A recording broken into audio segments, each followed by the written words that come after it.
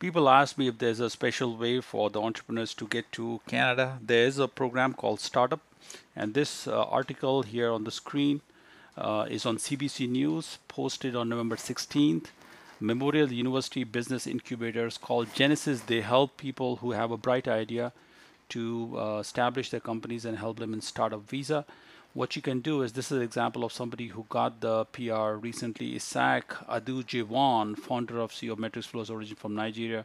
He went through this program. He got the PR. He got his company established also.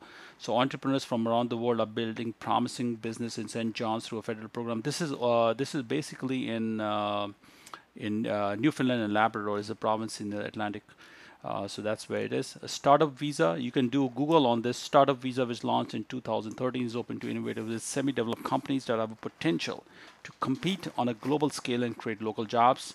Uh, so to be able to immigrate, entrepreneurs need to be endorsed by a support letter from one of the 60 designated business incubators, and Genesis is one of them.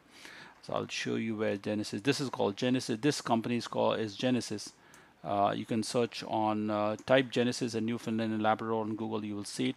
So they have a three-year entrepreneur uh, enterprise uh, program. Sorry, entrepreneurship program designed to foster new businesses. You don't need a lot of money in this. All you need is a bright idea. If you have a high-tech idea, I think that will fly.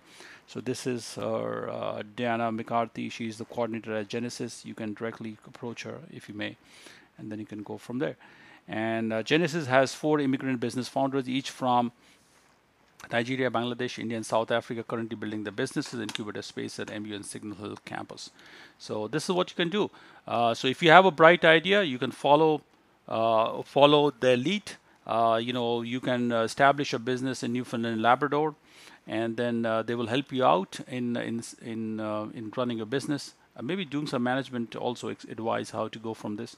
This is one company of somebody who uh, started this business. This business called Metric Flows, uh, and uh, I think this uh, what uh, this is from the Nigerian guy actually, and. Um, Metric Flows has created an online analytics that don't require cookies, data that tracks of a person's, um, let me just, person's internet usage and uh, so it's a high-tech company. So if your idea is high-tech is is little innovative only then it will you know be, be accepted. Otherwise not a regular not like uh, opening a restaurant or opening a hotel or something. But you know it require a high-tech business. So uh, thank you very much. Uh, take a look at this article right on CBC News.